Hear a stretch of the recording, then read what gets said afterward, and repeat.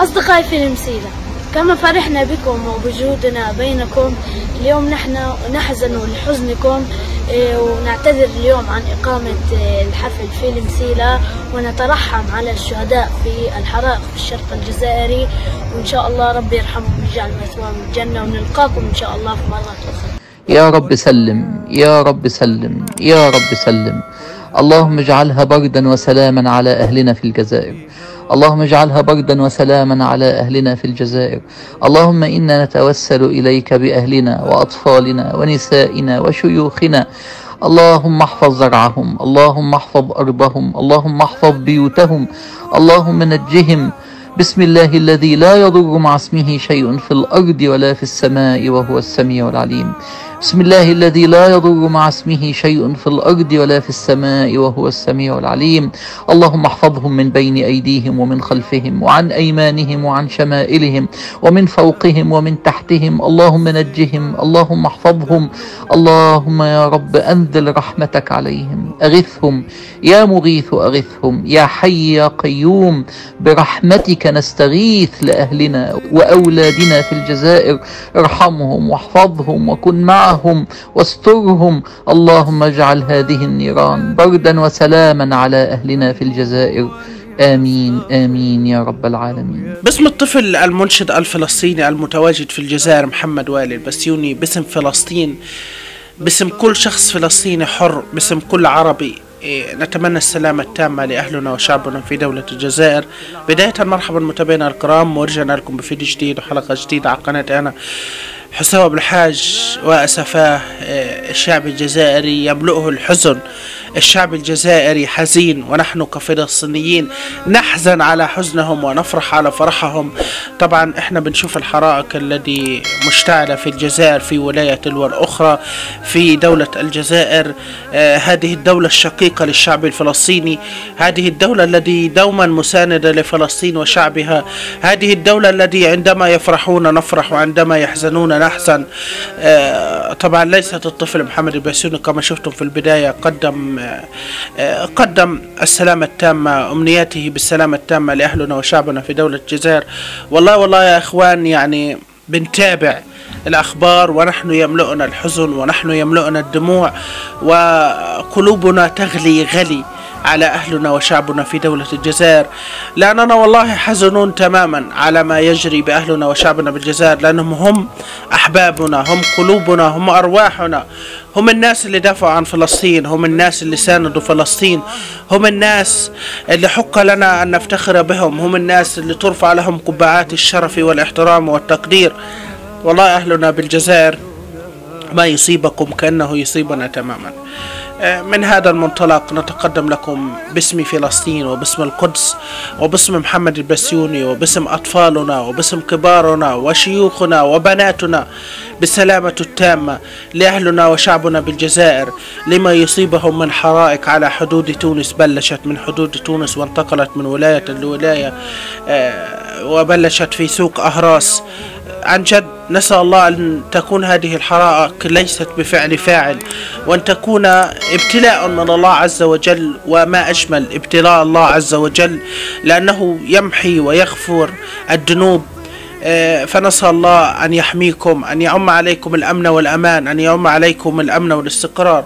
لابد في هذا المطاف أن نقف معكم وقفة رجولة وقفة شهامة.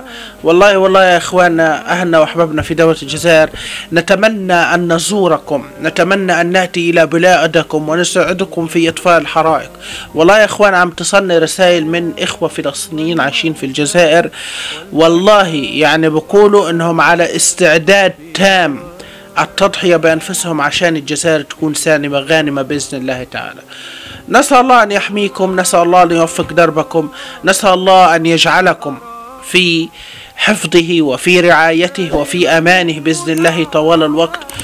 هذا الفيديو صراحة مش عارف شو أحكي فيه بالضبط لكن طلع لا أدعي لا هنا في الجزائر لا أعبر عن إحساسنا لا أفرجيكم إحنا قديش حزينين كشعب فلسطيني ومتضامنين مع أهلنا وشعبنا في دولة الجزائر.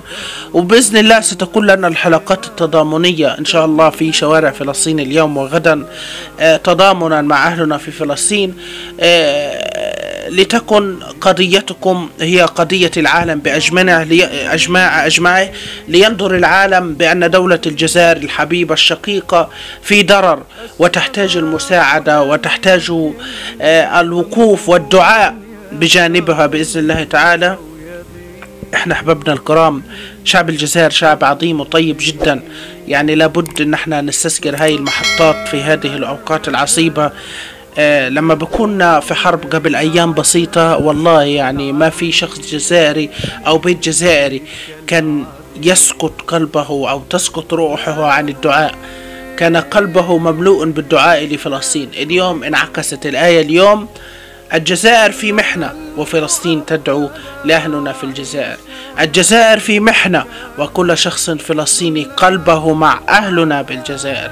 فوالله والله تأكدوا تماما من القدس ومن غزة ومن الضفة ومن رام الله ومن جنين ومن نابلس ومن حيفا ومن يافا ومن أريحة ومن ياطا ومن قلقيلية ومن جميع محافظات فلسطين تدعو لكم قلبا قلبا ندعو لكم السلامة ندعو لكم أن يعم عليكم الأمن والأمان وأن يحفظكم برعايته وظله وأن يبعد عنكم الحرائق الذي مشتعلة في أراضيكم المباركة.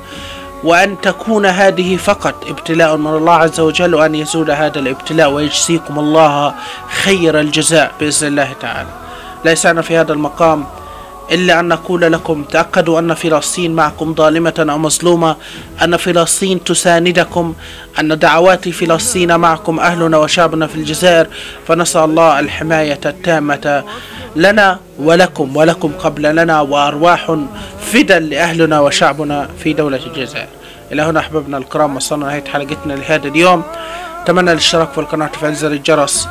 وأتمنى أن يعم السلام على أهلنا بالجزائر. تأكدوا تماما نحن معكم ودعواتنا لن تفارقنا لكم. وبإذن الله إن احتجتم المساعدة سنكون قريبين منكم حتى ولو نقدم الغالي والرخيص لأجلكم أهلنا وشعبنا في دولة الجزائر. ووالله المسجد الأقصى كله يدعي لكم. والله والله والله والله المسجد الأقصى كله يدعو لكم. إلى هنا أحبابنا الكرام وصلنا نهاية حلقتنا لهذا اليوم. نتمنى أن تكون قد بخير وتكونوا بصحة جيدة. وأتمنى الاشتراك في القناة. وتفعيل زر الجرس ليصلكم كل جديد وأتمنى أن تضعوا لايك لهذه الحلقة ليصل لكل أهلنا بالجزائر. ونؤكد لكم أننا معكم قلبا وقالبا. كان معكم الإعلامي الفلسطيني حسام بالحاج بأمان الله. واستمتعتكم ربي. وابتسموا فإن الله معكم. السلام عليكم.